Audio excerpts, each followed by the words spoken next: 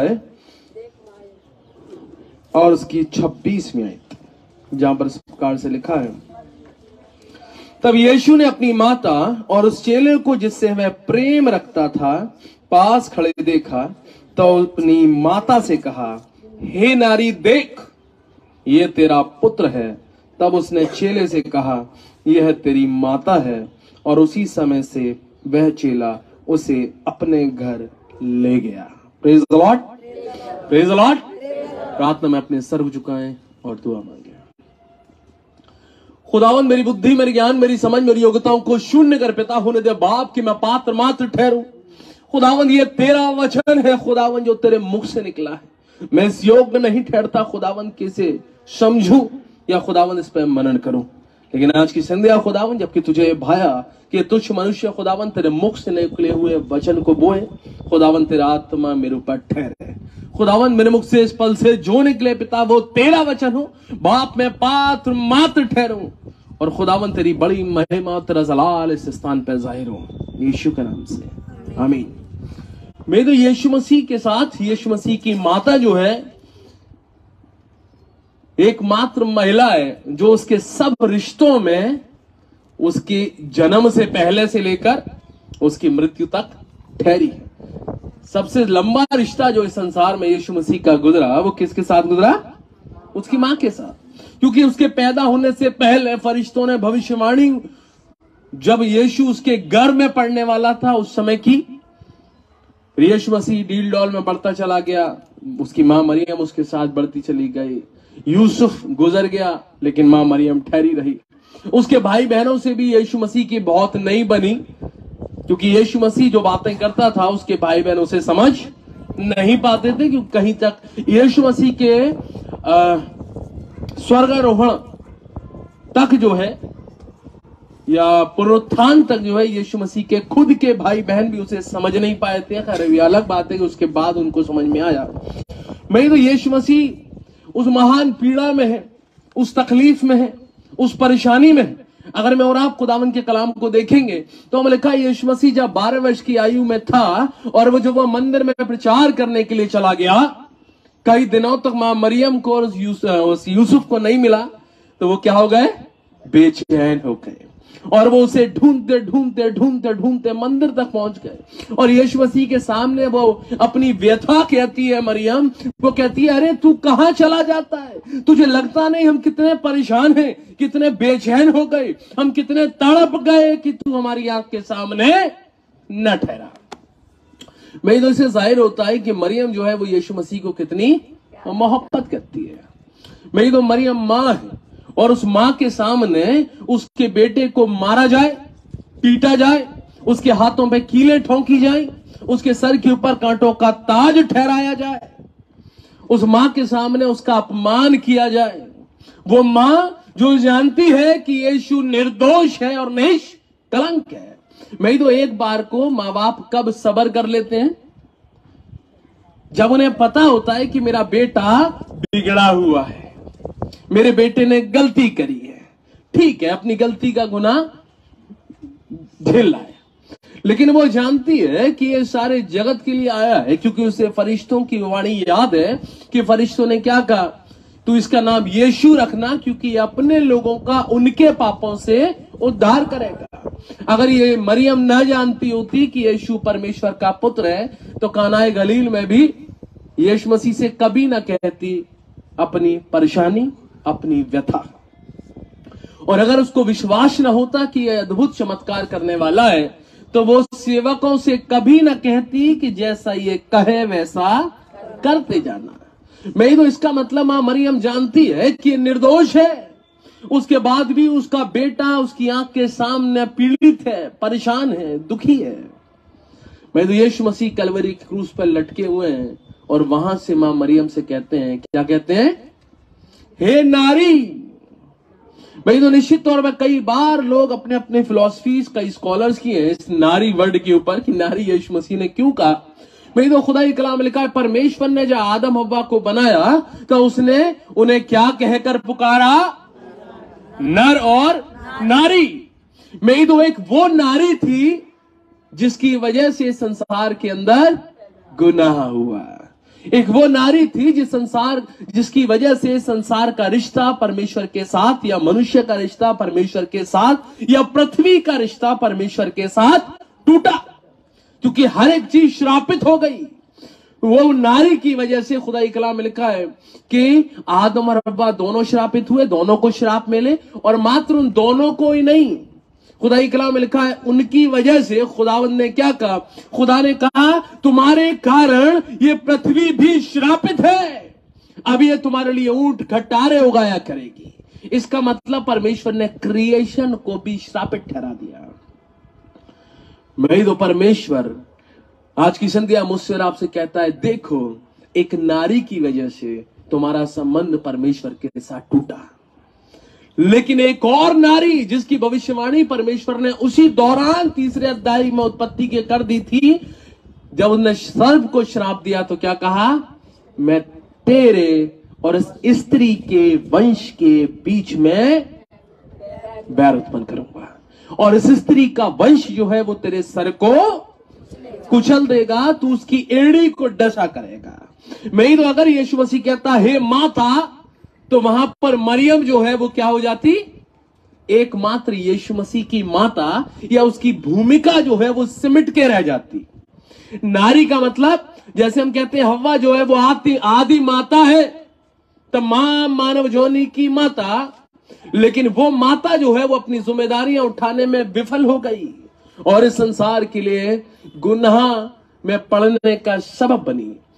यीशु मसीह कहते हैं कि ये भी एक माता है या ये भी एक नारी है जिसकी वजह से फिर से परमेश्वर का मनुष्य जोनी से और क्रिएशन से मिलाप हुआ है।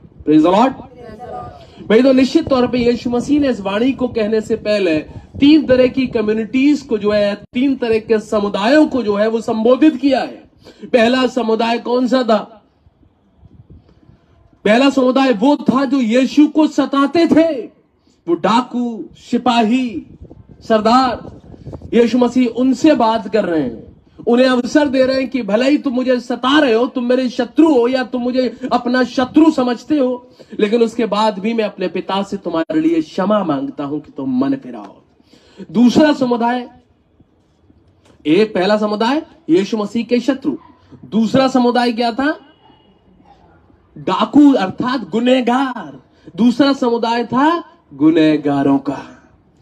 कि जहाँ पर वो गुनेगारों से बात कर रहा है कि अगर तुम तौबा करोगे, तुमने विश्वास यदि किया है, यदि तुमने अपने पापों का अंगीकार किया है तो तुम मेरे साथ फिर दोस्त में जाने योग्य बन जाओगे। प्लीज़ यहाँ पर यीशु मसीह किससे बात कर रहा है? ये तीसरा कलमा जो है, यहाँ पर यीशु मसीह विश्वासी मंडली से बात कर रहा है। यहाँ पर खुदाई कलाम में लिखा है, अगर मैं और आप देखें इस तीसरे कलमे को, ना तो मत्ती ने लिखा है न मरकुस ने लिखा है, न लूका ने लिखा है। ये मात्र यहुन्ना ने लिखा है। क्यों लिखा है?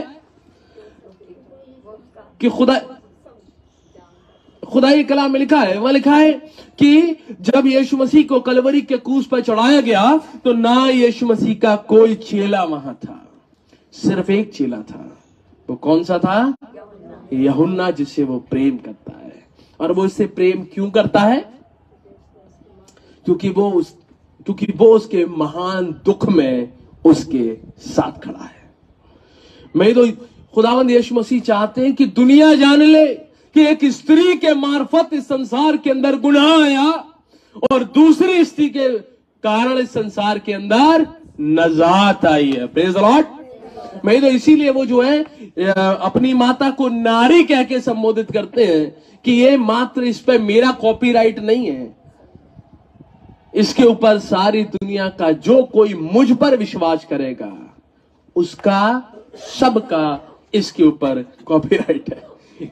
हर एक व्यक्ति जो मुझ पर विश्वास करता है कि मैं उसके गुनाहों के लिए मारा गया, गाड़ा गया, दफनाया गया, और उसके गुनाहों के लिए तीसरे दिन मुर्दों में से जी उठा, हर एक के लिए इस नारी के गर्भ को चुना गया कि जो कोई विश्वास करे इस नारी के गर्भ से जन्मी जन्मी हुई संतान पर वो नजात पाए। मैं तो निश्चित तौर पर एक और सबब है। मैं तो अगर यीशु मसीह जानते थे उस समय, यीशु मसीह जानते थे कि ये सारे के सारे जो हैं, ये मेरे प्राणों के प्यासे हैं।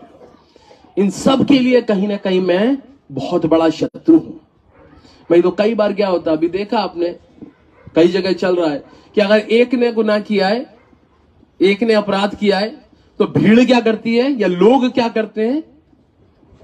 उसके घर का जो मिल जाए, उसके घर में तोड़ फोड़ कर देंगे। आजकल तो बिल्डोजर बाबा भी चल रहे बिल्डोजर बाबा चल जाएँगे। उसके साथ जुड़े हुए जितने भी लोग हैं, कहीं ना कहीं उनका अहित होगा।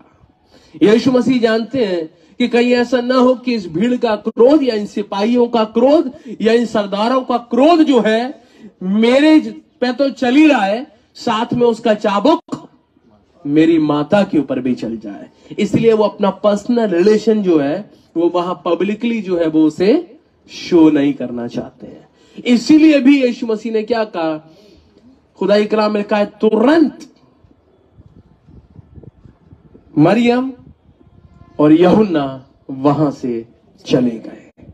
बाकी के शब्दों को सुनने का या यीशु मसीह के मरने का या यीशु मसीह की लोट का, को लेने का किसी का भी इंतज़ार उन्होंने नहीं किया है। मैं तो एक रीजन ये भी पॉसिबल है कि यीशु मसीह ने मरियम को माता कहकर नहीं पुकारा, मरियम को नारी कहकर पुकारा है।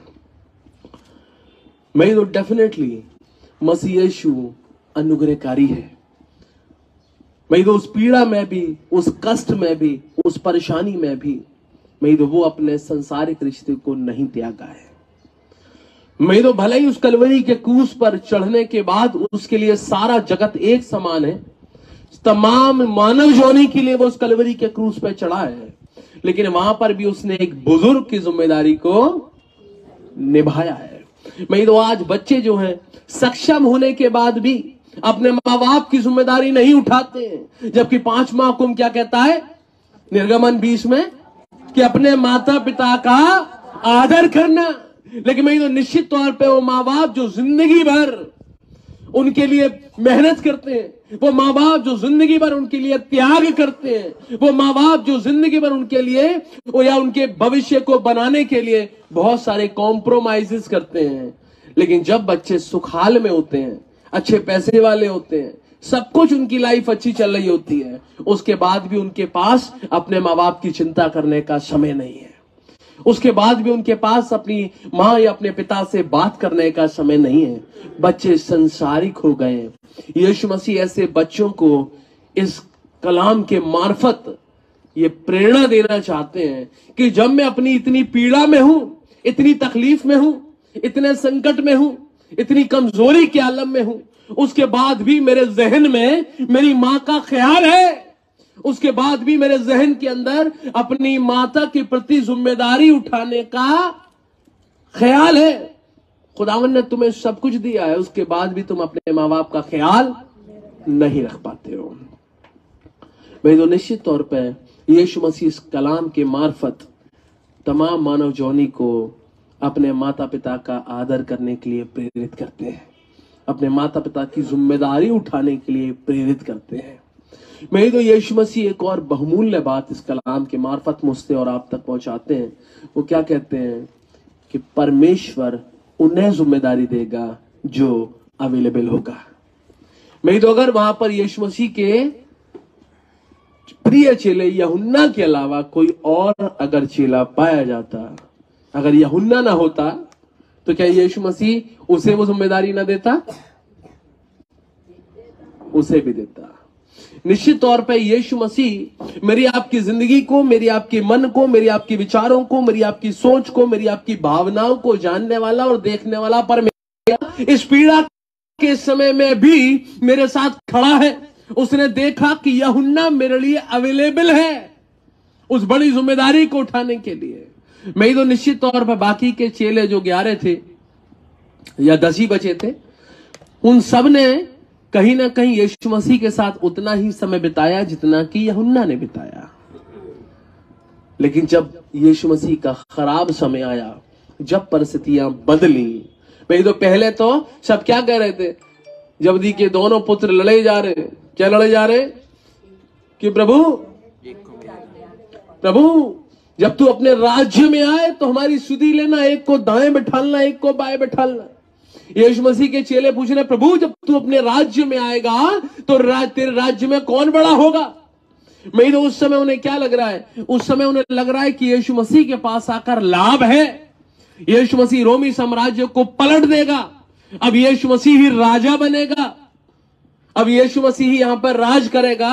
और जब यीशु का राज्य आएगा तो हम सबको पद मिलना पक्का है। हम सबको अधिकार मिलना पक्का है। हम सबको अथॉरिटी मिलनी पक्की है। लेकिन जब उन्होंने देखा कि यीशु मसीह तो खुद रोमी साम्राज्य और यहूदियों के द्वारा मारा जा रहा है। अब इसका विषम समय आ गया है। अब ये कोई चमत्कार नहीं कर सकता और ना ही ये कोई चमत्कार कर रहा है।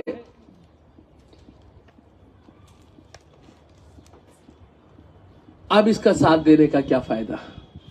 अब इसके साथ खड़े होने का क्या फ़ायदा? मैं तो कहीं ना कहीं बाकी चीज़ों की जो रिलेशनशिप थी, यीशु मसीह के साथ वो फ़ायदे के साथ जुड़ी थी। मैं तो अक्सर मेरे आपके जीवन की भी बड़ी परेशानी है। परेशानी क्या है?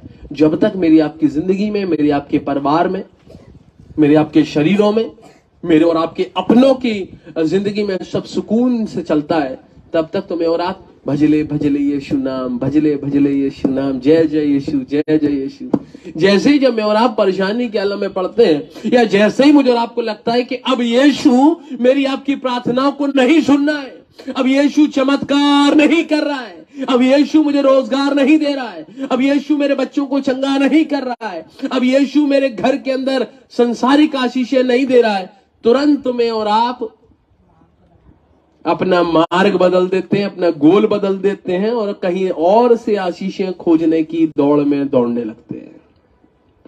जब मेरा और आपका स्वार्थ पूरा नहीं होता, मैं और आप यीशु को छोड़ देते हैं। नहीं तो ऐसा नहीं है, मैं और आप अपना धर्म बदल लेते हैं। धर्म नहीं बदलते, लेकिन विश्वास बदल देते हैं। मैं और आप बुरा नहीं मानना, बहुत सारे ऐसे हैं। मैं और आप ओझा, टोना, टोटका, मैं और आप बाबा, मैं और आप पीर, फकीर, सच बता रहा हूँ मैं। मैं और आप या संसारिक बैंक बैलेंस संसारिक डॉक्टर संसारिक रिश्ते, किसी को भी किसी और पर विश्वास करना प्रारंभ कर देते हैं। मेरा आपका भरोसा बदल जाता है। लेकिन निश्चित तौर पर खुदाई कलाम में लिखा है, वो लिखा है, जो अंत तक विश्वास योग्य रहेगा, वो स्वर्ग राज्य का वारिस होगा। यीशु मसीह का वो चेला अंत तक विश्वास योग्य पाया गया है। और उसने निस्वार्थ, अब उसका कोई स्वार्थ तो नहीं है यहुन्ना का। अब यीशु मसीह की बात मानकर उसे कोई, कुछ मिलने वाला तो नहीं है। लेकिन उसने निस्वार्थ जो है वो यीशु की उस आज्ञा को मानता है।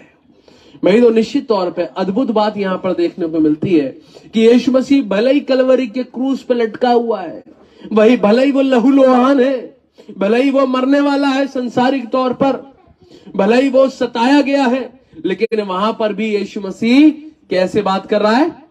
अथॉरिटी के साथ। यीशु मसीह रिक्वेस्ट नहीं कर रहा है यहुन्ना से। कि भाई प्लीज़ अगर हो सके तो ऐसा कर देना।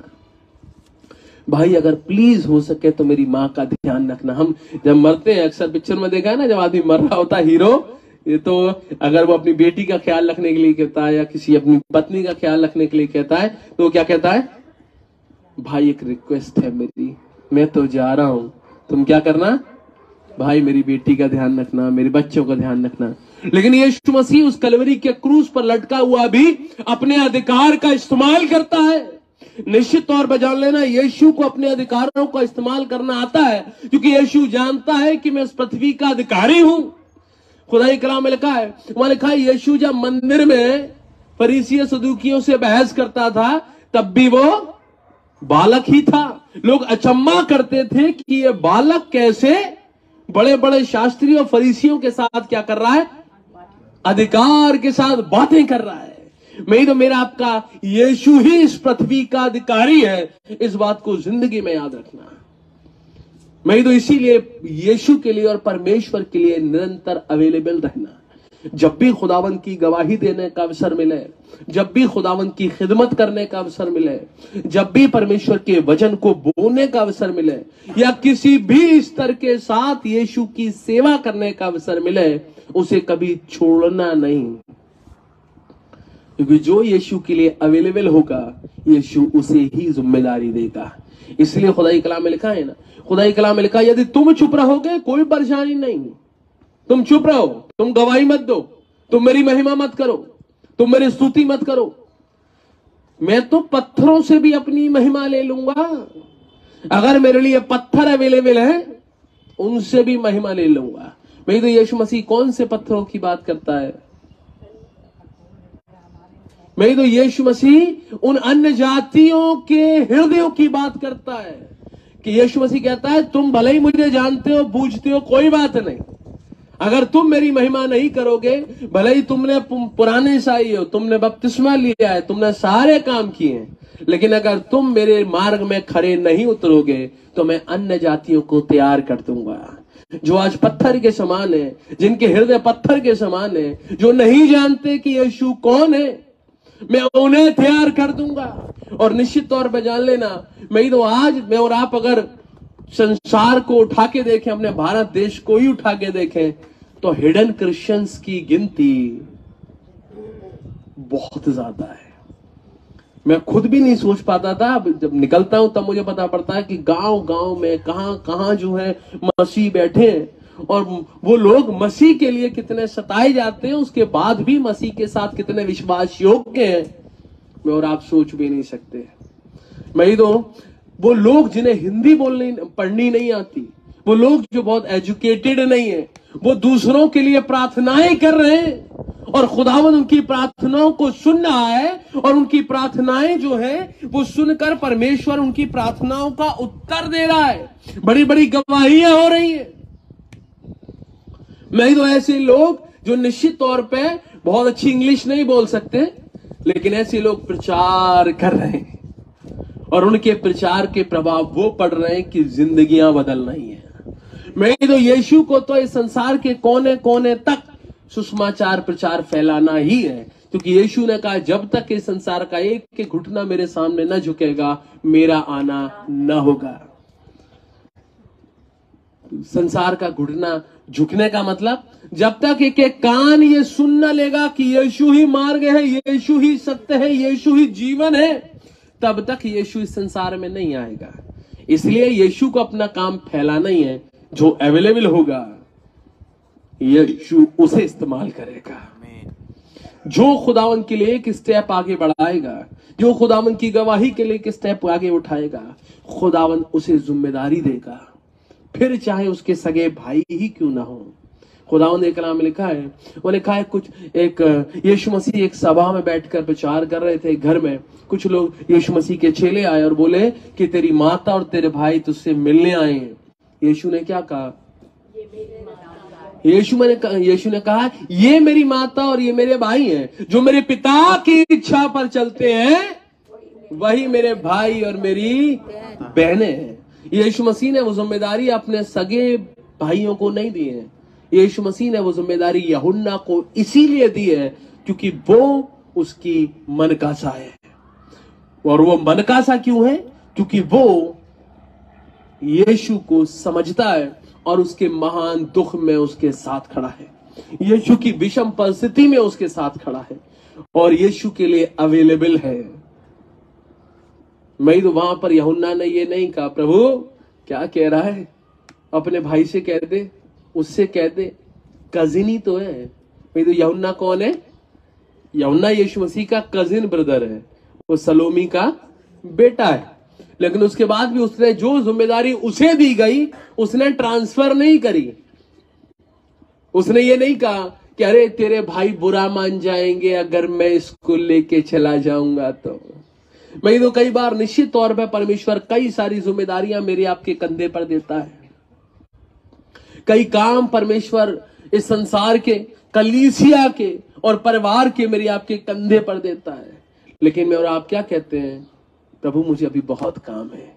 प्रभु, अभी मैं, मेरे को ये काम है। अभी मैं समय नहीं दे सकता। रिटायर हो जाऊँगा, उसके बाद हंड्रेड परसेंट मैं पूरा समय खुदावन के भवन में दूँगा। रिटायर हो जाऊँगा, उसके बाद डेफिनेटली मैं परमेश्वर के वचन को प्रचार किया करूँगा। और मैं और आप रिटायरमेंट का इंतज़ार करते हैं। आज भी एक भाई से मेरी मुलाकात हुई। मुझसे बोले, भाई साहब, मैं इस साल रिटायर हो रहा हूँ। और मैं सोच रहा हूँ, भाई साहब रिटायरमेंट के बाद अब मैं सिर्फ़ प्रभु के सुषमाचार प्रचार को फैलाया करूँगा और मैं अब सेवकाई के काम में लगूँगा। पूरी ज़िंदगी क्या कर रहे थे? मैं तो डेफिनेटली मैं और आप आने वाले भविष्य की चिंता करते हैं, आने वाले समय का इंतज़ार करते हैं। जब होगा, तब मैं करूँगा। अभी मुझे बहुत काम है। अभी मुझे संसारिक बहुत जिम्मेदारियाँ उठानी है। लेकिन निश्चित तौर पर जान लेना, आने वाले वक्त के बारे में और आने वाले समय के बारे में कोई नहीं जानता। इसलिए जैसा हो सके, जब हो सके, जो कर सके। खुदावंत को बहुत बड़ा पैसा नहीं चाहिए मुझसे और आपसे। वही तो डेफिनेटली अगर मैं और आप दसवांश खुदावंत को देते हैं तो वो हमारा ग्रेटिट्यूड है। वो हम हम अपने लिए दे रहे हैं। वो भी खुदावंत को नहीं चाहिए। खुदाई कलाम में लिखा एक विधवा स्त्री ने दो दमड़ी डाली। खुदा कहता है, इन सब में सबसे बढ़कर पता है किसने दान दिया है? जिसने जिसने, विधवा ने दो दमड़ी डाली है। वो मेरे आपके हृदय को देखने वाला परमेश्वर है। वो मेरी आपकी ज़िंदगी को देखने वाला परमेश्वर है। वो मेरी आपकी भावनाओं को देखने वाला परमेश्वर है। मैं वो ये देखता है कि कौन अवेलेबल है, कि मैं उससे ज़िम्मेदारी दूँ कि वो मेरे नाम को फैलाए संसार के अंदर, मेरे काम को करे मैं तो यहुन्ना अवेलेबल था, खुदा ने इसीलिए उसे ज़िम्मेदारी दी। मैं तो निश्चित तौर पे परमेश्वर ने दो महान जातियों को एक कर दिया। वो जाति जो कहीं ना कहीं यहुन्ना कलीसिया को दर्शा रहा है।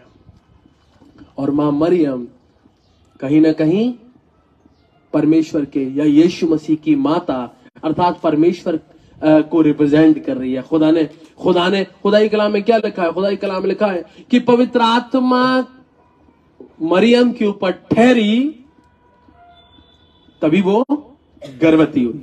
वो जादू से गर्भवती नहीं हुई। जादू नहीं हुआ है। हैं? कुआरी गर्भवती हो गई, वो जादू से नहीं। खुदाई कलाम में क्या लिखा है? खुदाई कलाम में लिखा है कि देख कुआरी गर्भवती होगी, पुत्र जनेगी, उसका नाम यीशु रखना। साथ में फरिश्ते क्या कहते हैं यूसुफ से? फरिश्ते यूसुफ से कहते हैं कि तू मरियम को अपने घर लाने से मत डर, क्योंकि जो कुछ उसके घर में है, वो पवित्रात्मा की ओर से है, परमेश्वर की ओर से है। तो कहीं ना कहीं मरियम जो है वो किसको रिप्रेजेंट कर रही है? परमेश्वर की आत्मा को। और यीशु मसीह ने उस कलवरी के क्रूज से इस वाणी को कहकर परमेश्वर की आत्मा को और यहुन्ना, जो कलीसिया है, उन दोनों को एक किया है। अब तुम दोनों साथ चलो। मैं तो निश्चित तौर पे खुदावन चाहता है कि मैं और आप, जो कलीसिया है, वो अपने परमेश्वर के वचन उसकी शिक्षा, उसकी आज्ञा और उसकी व्यवस्था के अनुसार अपने जीवन को जिए। तो इसीलिए खुदाई कलाम में लिखा है, मैं लिखा है असमान जुए में न जतो, विश्वासियों का अविश्वासियों के साथ कोई मेल नहीं। इसलिए खुदावंद यीशु मसीह ने उस कलवरी के क्रूज से क्या कहा? उसने उस कलवरी के क्रूज से अपनी विश्वासी माता को अपने अविश्वासी भाइयों से अलग कर दिया। मैं तो यीशु मसीह ने अपनी माँ से कहा, सुनो, अब तुम्हें अविश्वासी मेरे भाइयों के साथ रहने की ज़रूरत नहीं है। अब तुम अपनी संगति किसके साथ पकड़ो? विश्वासी के साथ। जो विश्वासी है, उसने दो विश्वासियों को एक साथ जोड़ा और कहा, अब जाओ। मैं तो खुदावंद यीशु मसीह मुझसे और आपसे भी यही कहते हैं कि मैं और आप भी अपनी संगति को चेक करें। मैं और आप भी अपने ग्रुप को चेक करें। मैं और आप किसके साथ ज़्यादा समय गुजार रहे हैं इस चीज़ को चेक करें।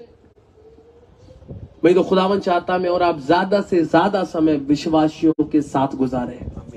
खुदावन चाहता मैं और आप ज़्यादा से ज़्यादा समय परमेश्वर के वचन को पढ़ने वाले, परमेश्वर के वचन को मानने वाले और परमेश्वर के वचन पर चलने वालों के साथ बिताएँ। वही तो इसीलिए खुदाई कलाम में लिखा है यहुन्ना कोई और यीशु मसीह का भाई कुछ इंटरफेयर करे, इससे पहले खुदाई कलाम लिखा है, ये यहुन्ना ने तुरंत मरियम को लिया और वहाँ से चला गया। क्योंकि यीशु जानता है कि अभी मुझे मेरे पिता की और जिम्मेदारियाँ निभानी है। यीशु जानता है कि मुझे अभी और पिता ने जो मुझे ज़िम्मेदारी दी है, उन भविष्यवाणियों को मुझे अभी और पूरा करना है। भाई तो निश्चित तौर पे खुदावंद आज की संध्या मुझसे आपसे कहता है कि मैं और आप अपने माँ बाप के लिए कितने कृतज्ञ हैं। मैंने और आपने, मैंने और आपने अपने माँ बाप के प्रति क्या ज़िम्मेदारी उठाई है? खुदावन मुझसे आपसे कहता है कि नजात आ चुकी है इस संसार के अंदर कि जो कोई उस पर विश्वास करेगा, वो हलाक ना होगा, बल्कि अनंत जीवन पाएगा। हम अपने आप को चेक करें कहीं ऐसा तो नहीं है कि जैसे खुदाई कलाम में लिखा ना, जिन, इनकी आँखें होते हुए भी ये देखते नहीं है और इनके कान होते हुए भी ये सुनते नहीं है। मैं तो यीशु मसीह के भाई, मेरे हिसाब से सबसे ज़्यादा यीशु के साथ रहे होंगे मरियम के बाद। क्योंकि तीस साल तक, बाकी संसार के साथ यीशु मसीह कितने समय तक रहा? साढ़े तीन साल। और तीस साल तक वो किसके साथ रहा? अपने परिवार में। तो ज़्यादा किसने सुना? ज़्यादा किसने देखा? भाइयों ने, बहनों ने। सब कुछ देखने के बाद भी, सब कुछ समझने के बाद भी, सब कुछ सुनने के बाद भी वो यीशु पर विश्वास न कर पाए। मैं तो कहीं ऐसा ना हो कि मैं और आप भी ज़्यादा से ज़्यादा यीशु के साथ रहे। किसी की दो पीढ़ी, किसी की तीन पीढ़ी, किसी की चार पीढ़ी, किसी की साठ साल, किसी की सत्तर साल। उसके बाद भी मैं और आप बड़े तो हो रहे हैं यीशु के साथ। मैं और आप समय तो गुजार रहे हैं यीशु के साथ, लेकिन मैं और आप विश्वास नहीं कर पा रहे निश्चित तौर पर जान लेना, अगर मैं और आप मात्र समय के साथ बड़े हो रहे हैं, और अगर यीशु पर विश्वास नहीं कर रहे हैं तो खुदावंद मुझे और आपको भी रिजेक्ट कर देगा उस ज़िम्मेदारी को देने के लिए, जो इस संसार में वो अपने विश्वासियों को देना चाहता है। वही तो खुदावंद यीशु मसीह ने रिजेक्ट कर दिया अपने भाइयों को। भले ही वो उसके साथ बड़े हुए, भले ही उसका ना सरनेम और उसका सरनेम एक जैसा होगा। भले ही लोगों लोगों को संसार को लगता होगा, ये सब दो सब एक ही माँ के गर्भ से जन्मे हैं। लेकिन जब महान ज़िम्मेदारी देने की बात आई, मेरी तो दुनिया की सबसे बड़ी ज़िम्मेदारी थी वो, यीशु के लिए दुनिया भी अपने पिता की ज़िम्मेदारी निभाना, उसके लिए आत्मिक ज़िम्मेदारी थी और संसारिक ज़िम्मेदारी सबसे बड़ी क्या थी? अपनी माता की ज़िम्मेदारी उठाना। मैं तो यीशु मसीह ने अपने पिता की भी ज़िम्मेदारी को निभाया और अपनी माता की ज़िम्मेदारी को भी उठाया। और दोनों ही जिम्मेदारियों पे वो खरा ठहरा है। मैं तो आज की संध्या खुदावंद मुझसे और आपसे पूछते हैं कि मैंने और आपने उन जिम्मेदारियों को जो खुदावंद ने मुझे और आपको दी थी, मैंने और आपने कितनी निभाई हैं? मैं और आप क्या परमेश्वर के वचन पर खरे ठहरे हैं? यीशु को जानने के बाद, यीशु को अनुभव करने के बाद, यीशु को सुनने के बाद, यीशु को पढ़ने के बाद, यीशु को अनुभव करते हुए बहुत सारी आशीषों को पाने के बाद, क्या मैं और आप यीशु के लिए प्राण देने तक विश्वास योग्य हैं? मैं तो हो सकता था उस समय जब लोग यीशु को क्रूस पे चढ़ा रहे हैं। तो वो यहुन्ना को देखकर यहुन्ना पर भी अग्रेसिव हो सकते थे। ये भी तो चेला था। ये भी बहुत घूमता था यीशु के साथ। बहुत सारे नेगेटिव विचार जो बाकी दस चेलों के मन में आए, वो यहुन्ना के मन में भी आ सकते थे। लेकिन यीशु मसीह ने उन तमाम नेगेटिव विचारों को छोड़कर यीशु को चुना। मैं तो आना वाला समय निश्चित तौर पर जान लेना मसीहों के लिए बहुत अच्छा समय नहीं होगा। आज में और आप मसीह होने पर गर्व का अनुभव करते हैं। आज में और आप परमेश्वर से लेते हुए बड़े आनंदित होते हैं। लेकिन आने वाले समय में परिस्थितियाँ बदलेंगी। यीशु मसीह की भविष्यवाणियाँ क्या? है यीशु मसीह की भविष्यवाणियाँ हैं। यीशु मसीह जब क्रूस को लेके जा रहे थे तो बहुत सारी स्त्रियाँ रो रही थी, पीट रही थी, छाती पीट रही थी। यीशु मसीह क्या कहते हैं? यीशु मसीह कहते हैं, अरे, मेरे लिए मत रो। मेरे को तो ये सहना ही है। तुम्हें रोना है तो अपने बाल बच्चों के लिए रहो। इसका मतलब आने वाली जनरेशन के लिए रहो। क्योंकि आने वाला समय बहुत खराब है। खुदा कलाम लिखा है, उस समय हाय करेंगी वो स्त्रियाँ जिन्होंने अपने स्तनों से दूध पिलाया हो।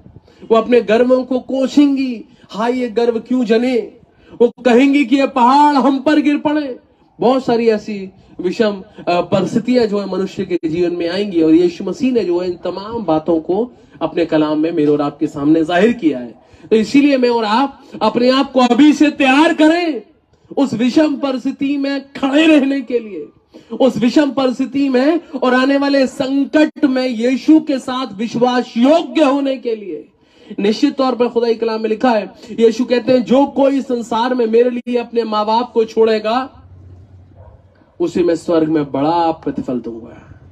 माँ बाप को छोड़ने का मतलब ये नहीं है कि आज सही माँ बाप जाओ, हम तुम्हें नहीं जानते। माँ बाप को छोड़ने का मतलब जब चयन करने का अवसर हो, संसारिक माँ बाप में और परमेश्वर में तब में और आप परमेश्वर को चयन करें। कि अगर हमारे खुद के माँ बाप भी अगर हमें अविश्वासी बनाने की कोशिश करें, हमारे खुद के माँ बाप भी अगर हमें परमेश्वर के कलाम, उसकी शिक्षा, उसकी व्यवस्था और उसकी आज्ञाओं से दूर ले जाने की कोशिश करें तो हम क्या कहें? सॉरी मैं दुनिया में सब छोड़ सकता हूँ, सब छोड़ सकती हूँ, लेकिन यीशु को नहीं छोड़ सकता। यीशु को नहीं छोड़ सकती। मैं तो निश्चित तौर पे, जैसे यीशु ने यहुन्ना को एक बड़ी ज़िम्मेदारी दी, वैसे ही परमेश्वर मुझे और आपको भी एक बड़ी ज़िम्मेदारी देगा। हालेलुया। प्रार्थना में अपने सर्व झुकाएँ और दुआ मांगे। आसमान और ज़मीन के खालिक मालिक हमारे वाले प्रभु, परमेश्वर। एक बार फिर से खुदावन बड़ी याद दीनता और भक्ति के साथ आपके चरणों में आते। इस परिवार, इस मंडली के लिए तेरा शुक्र करते हैं। अपनी बुज़ुर्ग आंटी के लिए खुदावन अपने भाई के लिए, बहन के लिए, पिता इस परिवार के बच्चों के लिए। खुदावन तमाम प्रियजन, पारिवारिक जनों के लिए खुदावन पिता परमेश्वर इस मंडली के लिए इस कलीसिया के लिए, जितने ऑनलाइन ऑफलाइन खुदावन इबादतों में सहभागी हैं सबके साथ रहे सबको आशीषित कर।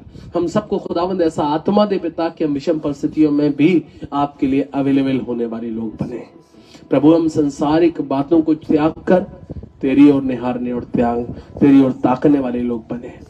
प्रभु, हम आत्मिक रीति से खुदावंद कलिसियाई रीति से, व्यवहारिक रीति से खुदावंद एक हो जाए कि हमारे संबंध परमेश्वर के साथ स्थापित हो। यीशु के नाम से। हमें हमारे बाप। आसमान पर तेरा नाम पाक माना जाए। तेरी बादशाहता है। तेरा जैसी आसमान पूरी थी ज़मीन पर भी हो। हमें रोज रोटी आज बचती जिस अपने कसूर वालों को माफ़ कर तुम्हारे कसूरों को माफ़ कर। आजमाइश में न पड़ने दे। बुराइश से बचा। क्योंकि बादशाह